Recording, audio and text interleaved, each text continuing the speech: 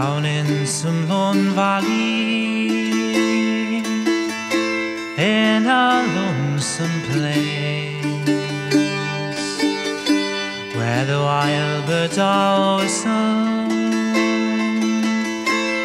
and their notes do increase.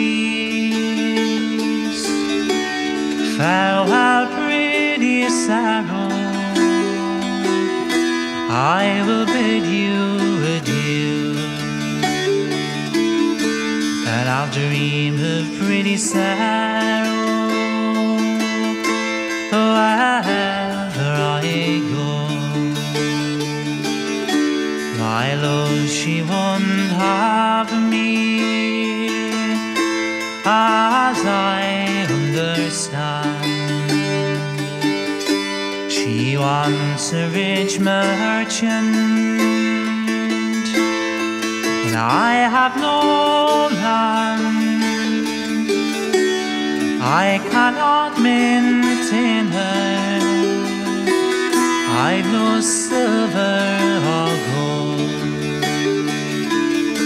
Can't give her the fine things that a big house will hold.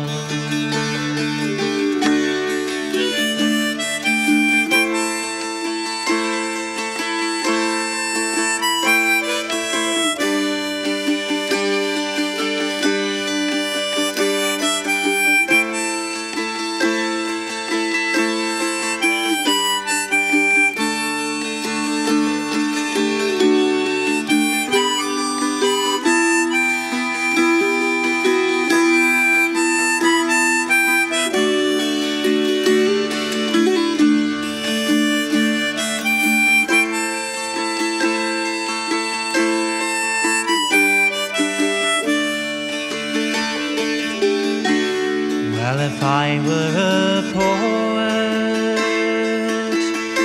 and could write a fine hand, I would write her a letter, knowing she'd understand. I'd write it by a river where the waters overflow.